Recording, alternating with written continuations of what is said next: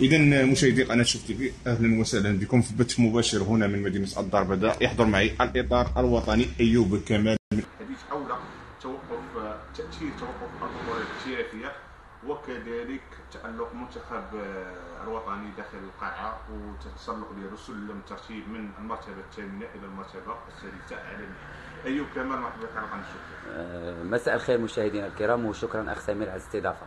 أكيد أيوب آه، الكل كيعلم يعني توقف البطولات الاحترافيه من أجل فتح المجال أمام مباريات مؤجلة وكذلك أمام فريق آه، آه، النهضة الرياضية البركانيه من أجل إجراء مباريات مؤجلة ديالها يعني كيف كتشوف توقف البطولة؟ واش غادي يأثر على السير العادي للبطولة؟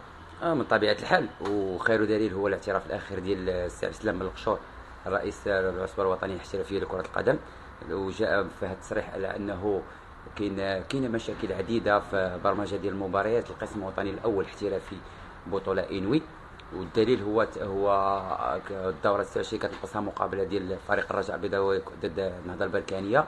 وكذلك التوقف ديال البطولة مره مره ما مرة ما مرة واثنين وثلاثة توقفت البطولة ما مرة ما جوج اذا هذا راجع الضغط ديال المباريات وكذلك ال- ال- ال- الإقفال ديال مجموعه ديال الملاعب بالنسبة لعدد من الفرق.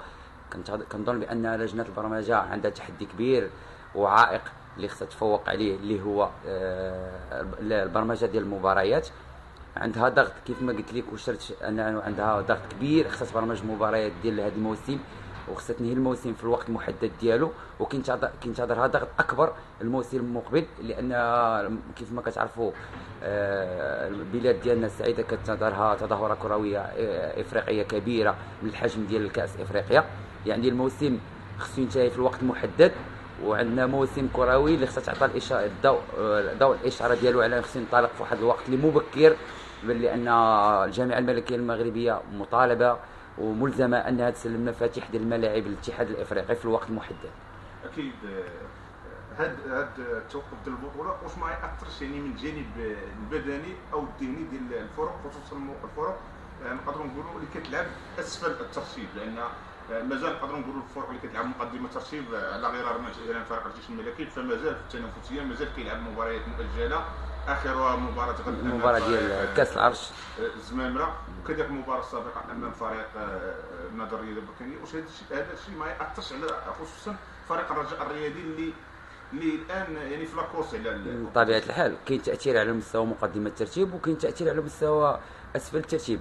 كنشوفوا على أن مثلا فريق الرجاء هو المطارد المباشر لفريق الجيش الملكي كيضغط عليه بواحد الشكل اللي اللي رهيب كتفصلهم اربعه ديال النقاط مع مقابلة ناقصة لفريق الرجاء البيضاوي أمام نهضة بركان اذا التوقف ديال البطولة الوطنية كيأثر كيأثر آه، بدنيا وذهنيا كذلك على اللاعب لأن اللاعب كي- كي- كيضاعف الت- التفكير ديالو و la concentration ديالو على المقابلة بشكل بشكل إضافي آه، وكذلك حتى بالنسبة لأسفل الترتيب الفرق اللي مهدده بالنزول القسم الوطني الثاني عندها ضغط اللي غيكون ضغط رهيب خصوصا آه، يوسفيه برشيد شباب محمدية شباب السوالم الفرق اللي مهدده بالنزول عندها ضغط غيكون ضغط كبير. آه، كنظن أن بعض الفرق استعنات بالكوتش مونطال من أجل تأطير اللاعبين ووضعهم في واحد الصورة اللي يقدروا يبقاو بيان كونسونطري على الماتش المقابلات ديالهم. بدنيا آه، فين فين غادي يقدر يأثر؟ خصوصا أن كنعرفوا أن آه، يمكن أن الفرق أنه يجراو مباريات يعني ودية آه، آه، مثال فريق الرجاء الرياضي اللي جرى المباراه أمام اتحاد تواركه ولكن هذا الشيء ما كيعنيش أن الفريق أنه غادي يكون موجد 100% أمام ما تبقى من المباراه متفق معك أخ سامر ولكن الإيقاع الايقاع ديال المقابلة الرسمية كيختلف على الإيقاع ديال المقابلة الإعدادية.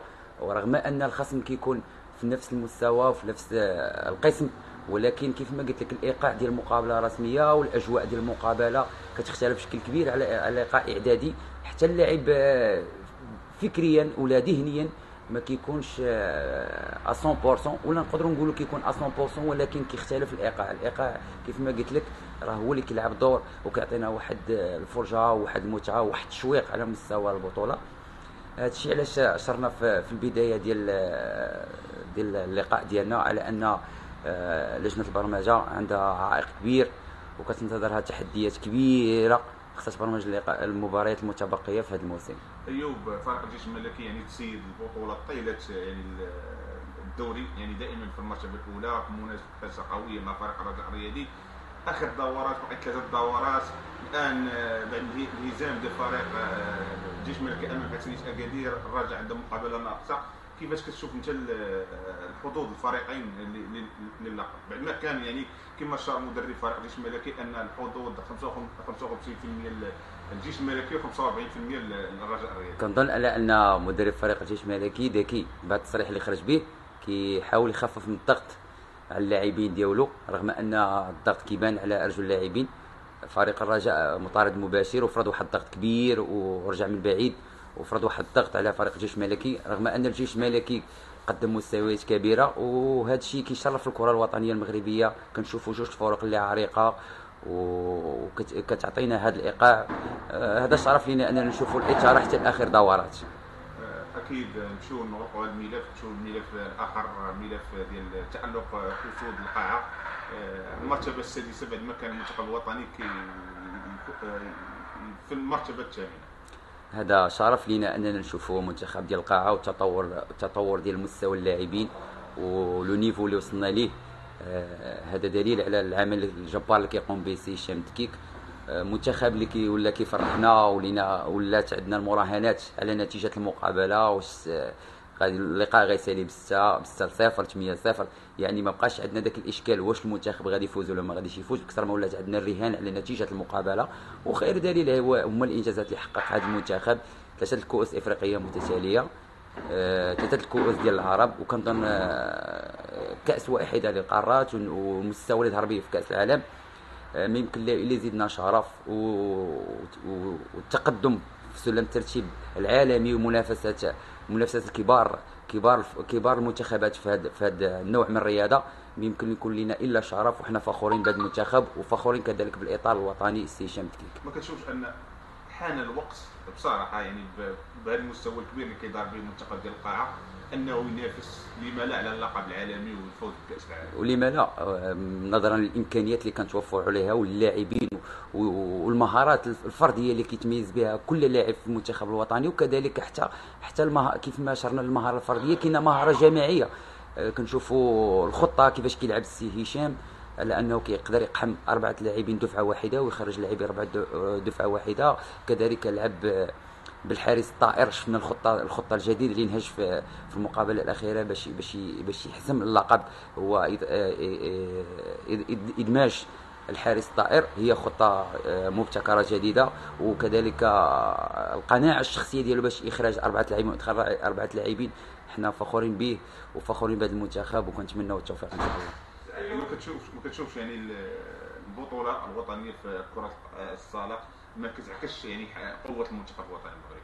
بطبيعة الحال كتعكس وخير وخير وخير دليل هو هو التتبع الكبير لسي فوزي لقجع رئيس الجامعة الملكية والحضور الوازن لشخصيات كبيرة في في المراقبة ولا المشاهدة ديال المقابلات سواء الركراكي شخصيات وزنه كبيرة كتابع المنتخب كيعكس على أننا في تطور ملموس وكبير جدا. أكيد. شكرا لك أيوب. إذا مشاهدي قناة شوف تي في قليلا نودعكم على أمل اللقاء بكم بث مباشر آخر. وشكرا.